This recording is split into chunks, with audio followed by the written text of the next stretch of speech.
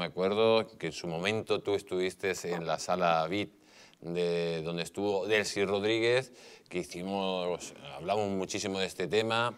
Hablaste de cómo fue a la sala, cómo bajó del, avión, donde Ábalos decía que no había bajado, una mentira sobre otra.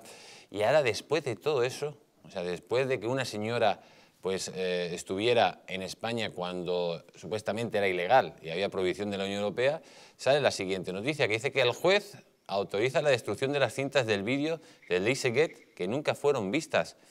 ¿Cómo es posible que mm, detrás de todo, que ha habido un procedimiento legal, estas cintas no hayan sido vistas y no hayan desvelado la verdad que, que se traía detrás de todo esto? Porque al final lo que se estaba hablando era de la entrada ilegal de maletas que no tuvieron ningún control. Algunos hablaban que se llevaba cocaína, que se llevaba dinero, que se llevaba oro, que era de una forma de, suministrar, digamos, dinero a esta embajada fantasma que tenían aquí en, en, en, Madrid, cuando había ese, esa especie de aislamiento y había dos gobiernos diferentes, el de Guaidó y el de Maduro. Y el de Maduro no era reconocido, sino era el de Guaidó.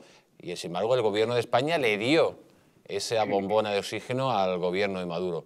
Y al final se sale otra vez de rositas. ¿Quieres que te cuente una cosa? Cuéntame. ¿Sabes, quién es, ¿Sabes quién es la única persona sancionada por haber entrado en esa eh, sala VIP? Imagino que tú. Yo, la única persona que ha recibido una sanción por entrar en esa sala VIP. Ni, Ábalos, ni Delsi, ni nadie. O sea, al final que te sanciones a ti. Eh, el único sancionado que existe hasta este momento y tuve que pagar la sanción fui yo. Eh, pero espera, que voy a más. ¿Sabes quién es la única persona sobre la que sí se ha permitido ver imágenes de cómo entraba en esa sala VIP? ¿A quién? Pues yo, la misma. A mí, por lo visto, sí se me filmó. Y a mí sí, se me utilizó en esa eh, sanción administrativa que me pusieron.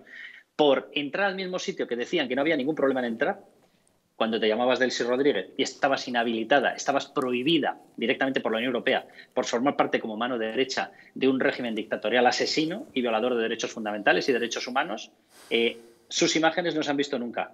Las mías, yendo al mismo sitio a fotografiar y a demostrar que efectivamente no había ningún control porque era España y por tanto pisó España, y pasándome por esas zonas, las mías sí, porque según ellos violé el protocolo de seguridad y esa señora. O, sea que, Carlos, que, tú que investigas un delito, te sancionan.